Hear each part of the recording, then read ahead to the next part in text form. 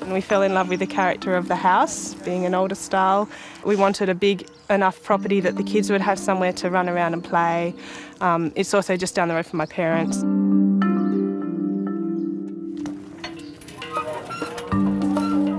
Heather Shaw and her husband Dave used an interest only loan from ANZ to buy their five acre property outside Perth in 2013.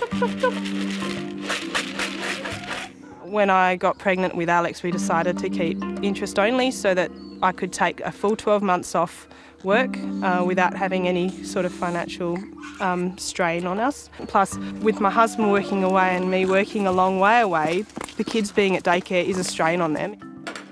That's some cheese? Now Heather Shaw is returning to work. In the next few months, their home loan switches over to principal plus interest. And that means the family's mortgage repayments will increase by a quarter, but they'll have a second income. This was a strategic move for us. Um, we've planned for this. But for another ANZ customer, Queensland farmer Hugh Mackey, the switch could prove too much. He had been hoping to retire soon.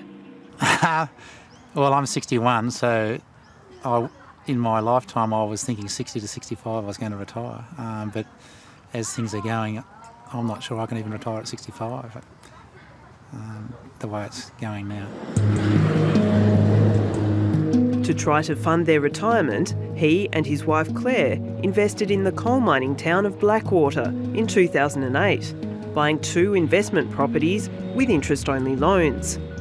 But the town's rental market has slumped. Their houses have halved in value, and Hugh Mackey is struggling to meet his loan repayments. And at the moment, with interest only, we're forking out, I think, approximately $30,000 a year of our own money, separate to the, the rental income, to, to not default on the loan repayments. This week, the loans are switching over to principal plus interest meaning he'll have to find an extra $12,000 a year to cover his mortgages. He's yet to speak to the bank. If it gets serious and ugly, I presume they can probably bankrupt me. I don't want that to happen. Um, I, I, don't know. I can't see an easy solution, but I, and in the meantime, I want to keep trying to pay the repayments, and I'm in effect borrowing money to, to continue these repayments. Hugh Mackey is not alone. The Reserve Bank estimates that $360 billion worth of interest only home loans will roll over to principal plus interest in the next three years. For the average borrower, that means about $7,000 a year in extra repayments. That can see their monthly repayments increase by about a third. Uh, and so that's a big strain for a lot of people. And uh, in terms of cash flow, that's very hard for a lot of people to meet, particularly if they're overstretched. Economist Richard Holden says at the same time it's become harder to refinance, with banks applying greater scrutiny to people's debts and spending habits. Those borrowers who can't refinance could be forced to sell. The kind of nightmare scenario is where a lot of people need to sell all at once, and that's where you see a kind of fire sale mentality and could be, see very significant downward pressure on prices that puts the banks under stress and their balance sheets under stress, uh, and it could lead to significant financial instability. By 2015, interest only loans had grown to almost 40% of outstanding housing credit in Australia. In March last year, the regulator, APRA, put the brakes on limiting interest only lending by the banks to 30% of new home loans.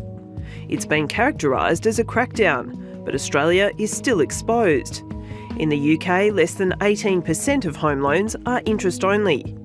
Interest only loans in the US played a role in the global financial crisis, and lenders there have only recently started offering the loans again, but with extra safeguards. It's a story that may not end well for many Australians, like Hugh Mackey. Even if he sells both investment properties, he may still owe ANZ a quarter of a million dollars. If they take that debt, which they're entitled to do, then basically I'll, we'll end up with no assets and no, and no cash at that time. Do you regret ever buying these houses? Yeah, it was probably the worst decision I've ever made in my life.